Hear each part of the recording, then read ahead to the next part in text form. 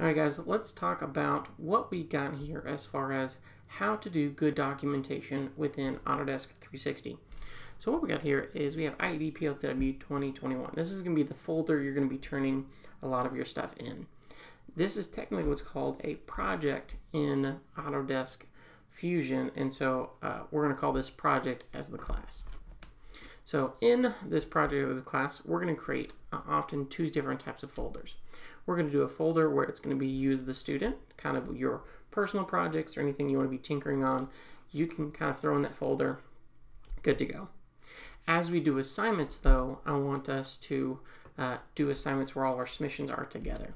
And how do we do that to where, you know, where we don't have all have activity 1.2.2 as our answer and and just well, if 30 different people are all doing the same activity, we want to make sure that we're naming it correctly. So here's the naming that I want you to use for this class.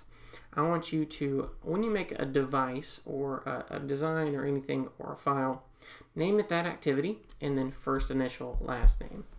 So I'm going to go ahead and delete this one.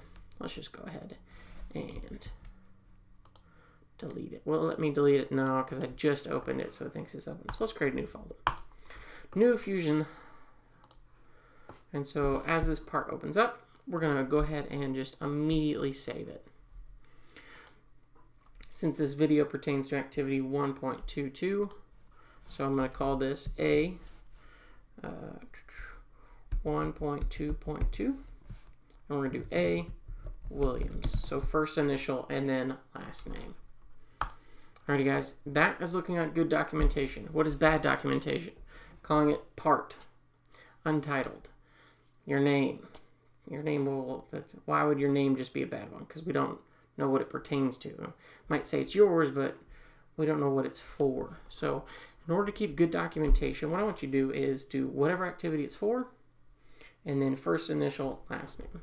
Alrighty guys, that'll be it, and I'll catch you in the next video.